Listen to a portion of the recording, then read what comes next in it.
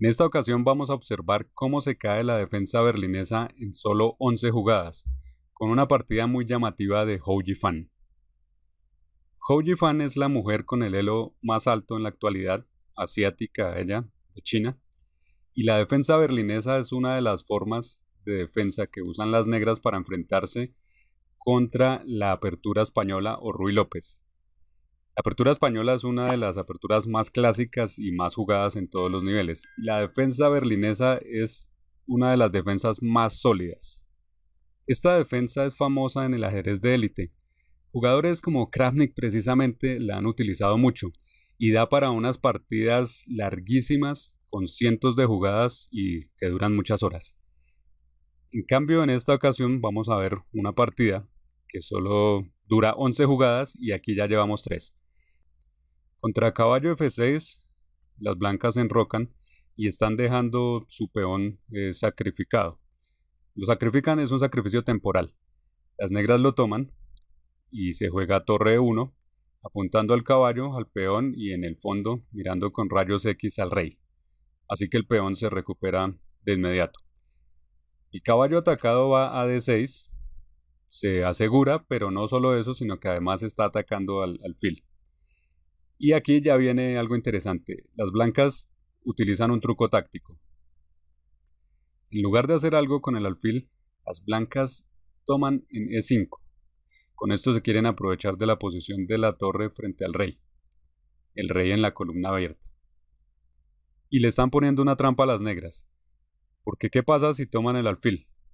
Las blancas ganan ya que se hace caballo por C6, se recupera la pieza y lo peor es que se toma la dama, con eso se gana la partida.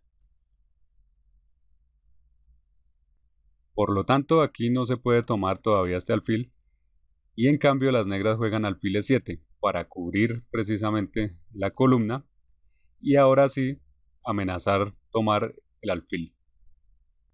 Dado que las blancas no quieren perder su alfil, ahora sí lo mueven a una casilla que por cierto resulta extraña. Alfil de 3. Es extraña esta posición del alfil porque está eh, impidiendo el movimiento de este peón y con ello el movimiento o la salida de este otro alfil. Incluso puede que este alfil allí, eh, al impedir mover el peón, esté incomodando un poco a la dama. Pero vamos a ver que alfil de 3 es un buen movimiento aquí. Es bueno porque ya está apuntando al flanco de rey. Las negras siguieron ahora enrocando y las blancas jugaron caballo C3. Pero antes de eso veamos algo muy importante. Observemos que este caballo debería estar en F6. Y al no estar allí, las blancas pueden aprovecharse de un patrón de ataque. Que la falta de este caballo nos dice que podemos atacar. Si el caballo estuviera en F6, las casillas H7, H5, G4 incluso, que son casillas del flanco de rey, estarían protegidas. Ante la falta de este caballo allí en F6, las blancas tienen libertad para acercarse al flanco de rey. Entonces podemos pensar en atacar de inmediato. Veamos eh, una variante que se podría dar. Dama H5, amenaza de mate inmediata. Las negras juegan G6 para cubrirse y dado que no hay quien defienda al rey, podemos pensar en sacrificar todo allí. De esta manera, hasta dejar al rey totalmente descubierto.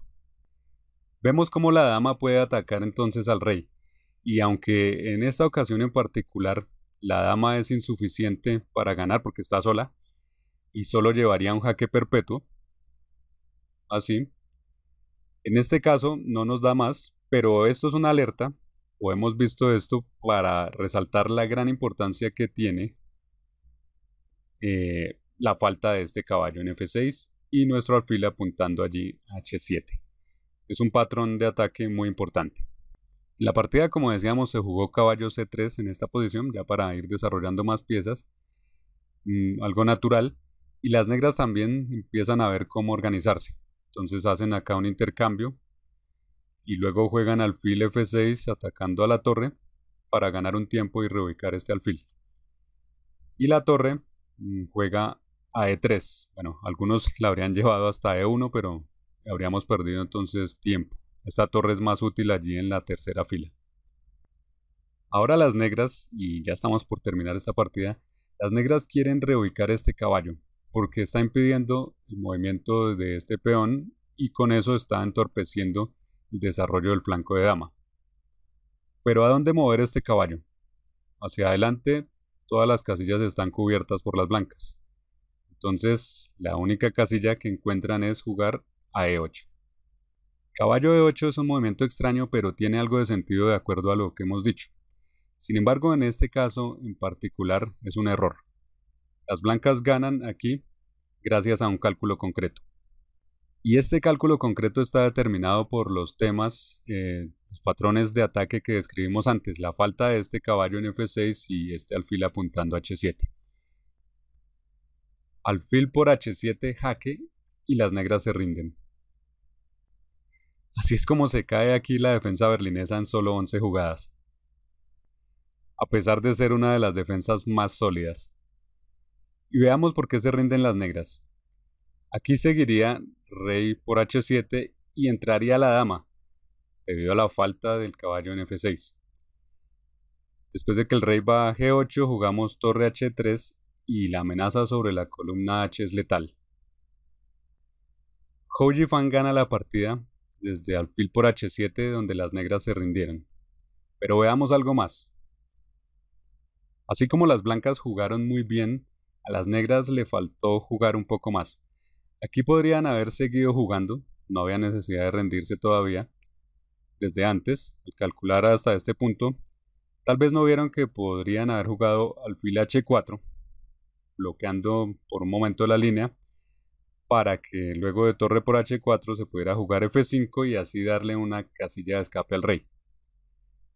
El alfil no se perdió porque se estaba devolviendo eh, para equilibrar el material. Las blancas habían sacrificado el alfil en h7. Entonces, después de este jaque, el rey va aquí f7 y después de dama por f5 se puede jugar caballo f6. Y en este punto ya no hay más ataques. Esta posición era jugable todavía. Las blancas es cierto que han ganado dos peones, pero he visto posiciones peores en partidas de aficionados donde el que va perdiendo recupera milagrosamente la partida. A propósito, si tú tienes un ejemplo de una partida de la que te has recuperado estando completamente perdido, sería muy interesante verlo en los comentarios. Además hay que mencionar que Hoji Fan en este momento tenía solo 10 añitos y cualquier cosa podía pasar, aunque tampoco debemos subestimar que Hoji Fan a los 14 ganó el título de Gran Maestro y a los 16 ya era campeona mundial, todo un prodigio. Pero de todas formas las negras deberían haber intentado jugar esta posición. Lo que pasa es que se rindieron en esta posición, luego de haber hecho sus cálculos, y es que el cálculo es algo muy vital, tanto para atacar como para defender. Con cálculos se encuentra una jugada como esta y una posible defensa. Bueno, hemos visto una miniatura muy instructiva y vemos cómo los patrones de ataque facilitan el cálculo. En la lección anterior, por ejemplo, estudiábamos un patrón de mate muy importante. Espero que ya hayas visto ese video. Y por favor, acostúmbrate a revisar todos los enlaces que damos. Son material de aprendizaje complementario. Hasta pronto.